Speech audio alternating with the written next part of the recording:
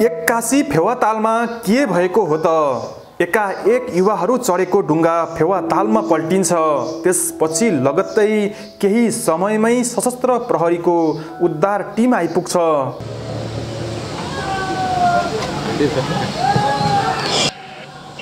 छेउछाउमा क्रिस्टल घाटदेखि तालबारे मन्दिर दर्शन गर्न जाँदा अचानक हावा उडेर चट्याङ परि बोट पल्टी दुर्घटना भएको छ।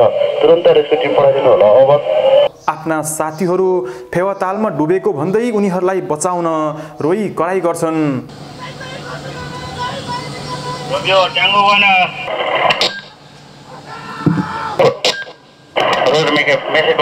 त्यसपछि केही क्षणमै सशस्त्रको टिमले तालमा डुबेका युवाहरूलाई उद्धार गर्छ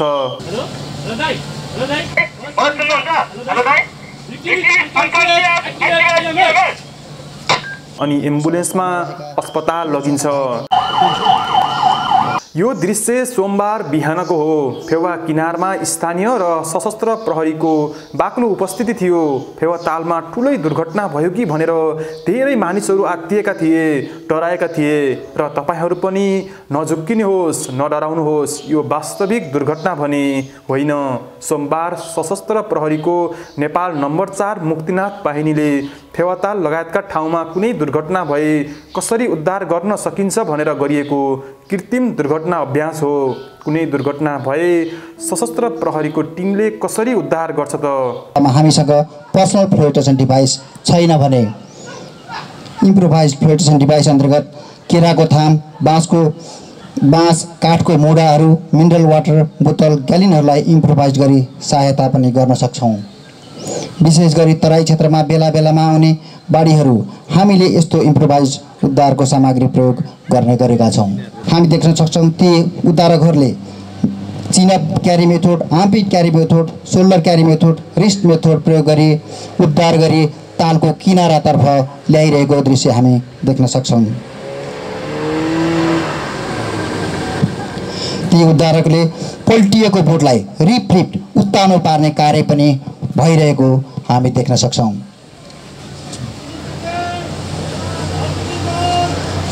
हामी देख्न सक्छौँ APF medical first responder team MFR घटनास्थलमा परिचालित भइसकेको छ। यो टिमले आफ्नो पहुँचमा रहेका सामान्य घाइतेलाई घटनास्थलमै प्राथमिक उपचार र गम्भीर घाइतेलाई प्राथमिकता आधारमा अस्पताल पुर्याउने गर्दछ।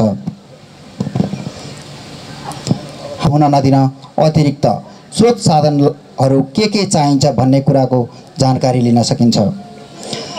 रेस्क्यु बोटबाट भिक्टिमलाई इभ्याकुएट गरी फर्स्ट एड जोनतर्फ लगिरहेको हामी देख्न सक्छौँ। घाइते बिरामीको इनिसियल एसेसमेन्ट र फिजिकल इक्जामिनेसन हुँदैछ। एमएफआर स्क्वाड उपचारमा तल्लिन्छन् घाइतेको अवस्था बिग्रन नदिन ब्यान्डेजिङ ड्रेसिङ र ब्लड कन्ट्रोलिङ जस्ता उपचार गरिँदैछ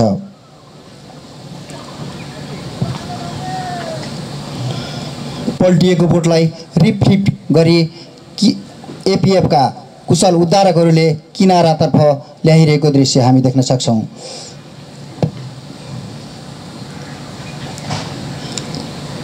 स्मरण रहोस् यस सिजनमा प्राय हावाहुरी र चट्याङ पर्ने हुँदा सुरक्षित रहन चट्याङ परेको बखतमा पानीमा रुखमुनि बिजुलीको पोलमुनि नबस्ने यदि कोही कसैमाथि चट्याङ परी बेहोस अवस्थामा भएमा सिपिआर लगायत अन्य प्राथमिक उपचारको ज्ञान हुन अति जरुरी छ।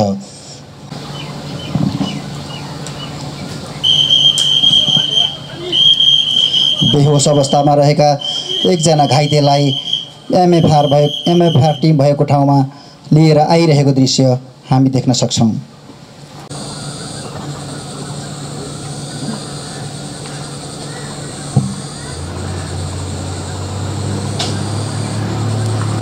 हामी देख्न सक्छौँ हराइरहेको व्यक्तिको खोजी कार्यका लागि यतिखेर स्ट्यान्ड बाई अवस्थामा रहेको तालिम प्राप्त गोताखोर टोली आफ्नो सम्पूर्ण इक्विपमेन्टसहित घटनास्थलतर्फ अगाडि बढिरहेका छन्।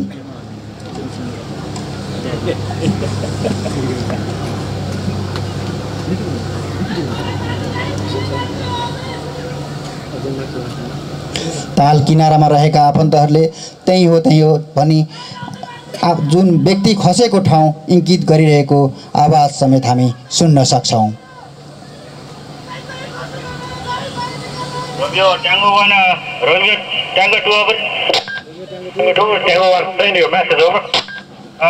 हामी सम्बन्धित घटनास्थलमा आएर खोजा कार्य सुरु गर्न त्योभन्दा छिटो सुरक्षित तरिकाले सुरु गरिहाल्नुहोस् ओभर र कति ओभर एबिएफ गोताखोर टिम सम्बन्धित ठाउँमा पुगिसकेको जानकारी सञ्चार सेटमा भएको वार्ताबाट हामी सुन्न सक्छौँ।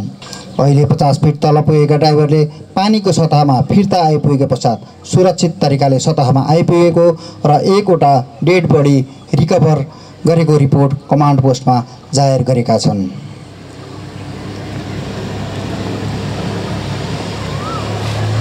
गोताखोर टोलीले उद्धार गरी बोटको बोटमा राखी किनारातर्फ अगाडि बढिरहेको दृश्य हामी हराएका व्यक्तिमध्ये अझै बेपत्ता भएका एकजना व्यक्ति खो खोजीको लागि परिचालन हुन गुहार गुहार गरिरहेको दृश्य हामी देख्न सक्छौँ। उपस्थित सम्पूर्ण अतिथि महानुभावहरू यहाँहरू सबैको ध्यान यस मञ्चको बायाँतर्फ ध्यान आकर्षण गराउन चाहन्छु। भर्खरै प्राप्त खबरअनुसार पोखरा महानगरपालिका छ। स्थित फिस्टे लज पारे किनारामा रहेको बिजुलीको लाइनले रुखले उक्त हाँगा काट्ने क्रममा रुखबाट एक व्यक्ति खोजमा खसेको खबर।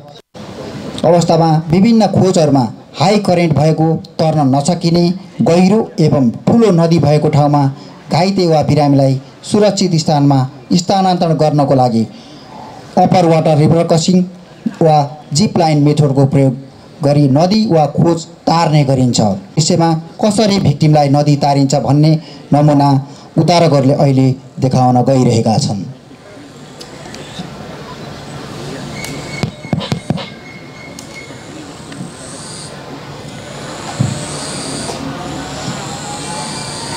डुङ्गा दुर्घटना पश्चात पारी पुगेको। एकजना भिक्टिमलाई पारी हस्पिटल लैजाने बाटो नभएको र बोटको समेत प्रयोग गर्न नसकिने अवस्था भएपछि रोपको माध्यमबाट वारी तारिँदैछ।